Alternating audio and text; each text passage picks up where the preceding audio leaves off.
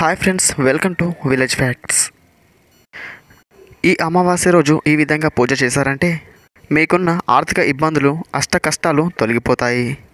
పితృదేవతలు ఎప్పుడు మన సుఖ సంతోషాలనే కోరుకుంటారు కాబట్టి ఈ కార్తీక మాసంలో వచ్చే అమావాస్య రోజు వాళ్ళకు పిండ ప్రదానం చేసి పూజ చేసినట్లయితే మంచి శుభ ఫలితాలు లభిస్తాయని శాస్త్రం చెప్తుంది.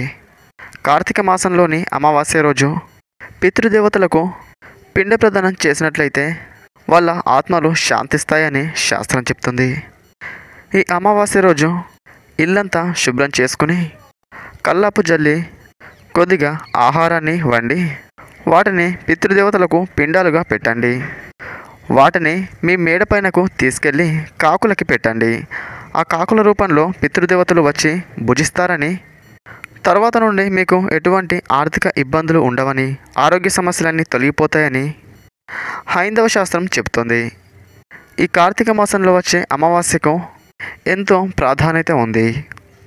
మీరు కూడా ఈ విధంగా చేసి పితృదేవతల ఆశీర్వాదంతో అష్టైశ్వర్యాలు పొందండి.